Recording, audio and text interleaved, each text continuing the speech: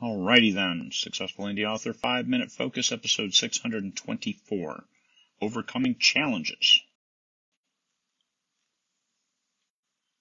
Here's Stanley. It's still early here. He hasn't done anything yet, so he's sleeping.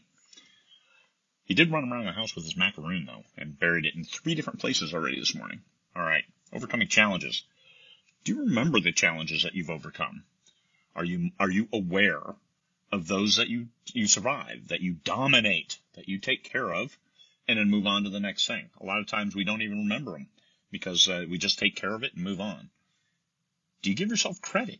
Do you give yourself enough credit for overcoming challenges?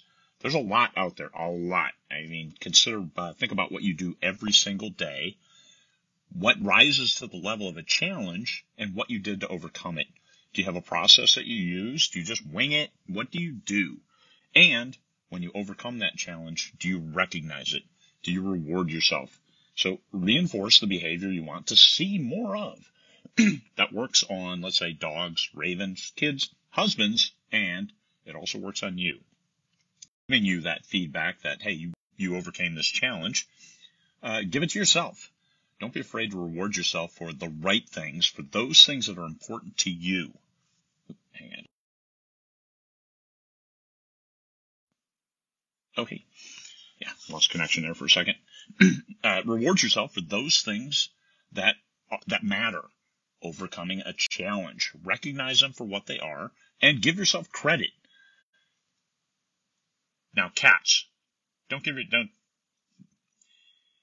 you can't do positive reinforcement with cats because it doesn't work on them. Don't use them as a paradigm for anything you do because uh, except for confidence, uh, cats have all the confidence in the world.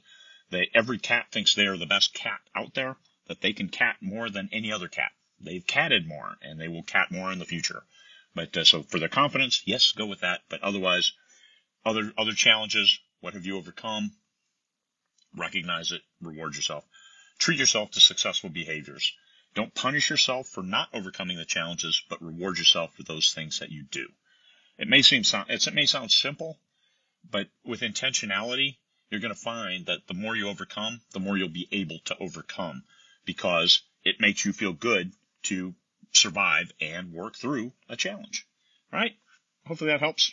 Peace, fellow humans. Oh, by the way, make sure you subscribe to the 20 Books of 50K YouTube channel where you can see this video along with hundreds of other videos all about uh, how to be better self-publishing and uh, be a better author, hopefully. Peace, fellow humans.